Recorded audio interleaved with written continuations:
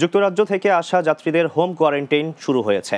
যুক্তরাজ্যে পাওয়া করোনার নতুন স্ট্রেনের সংক্রমণ রোধে সেখান থেকে আসা প্রবাসীদের বাধ্যতামূলক প্রাতিষ্ঠানিক কোয়ারেন্টাইনে রাখার সিদ্ধান্ত কার্যকর করা হয়েছে।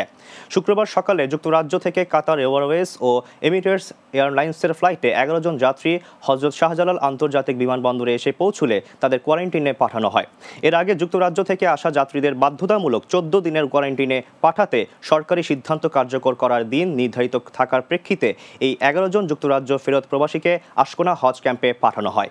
তবে প্রাথমিকভাবে তাদের আশকোনা হজ ক্যাম্পে পাঠানো হলেও যাত্রীরা চাইলে স্বাস্থ্য অধিদপ্তরের নির্ধারণ করা হোটেলে যেতে পারবেন বলে জানা গেছে।